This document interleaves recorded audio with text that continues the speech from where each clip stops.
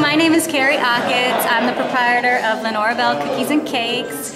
We make homemade cookies in small batches at the Five Points Farm Market located at 26th Street and Church Street in Norfolk, Virginia. We are a local small business and we have entered into an in-kind trade agreement with Virginia Stage Company.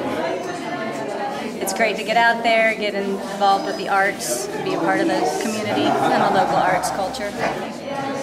I get people coming in all the time saying that they had one of my goodies at the at the Virginia Stage Company, and that's great feedback to hear. And they're always so joyed to find out where they came from, and that they're not shipped in from some commercial bakery, and that they're baked right here in Norfolk.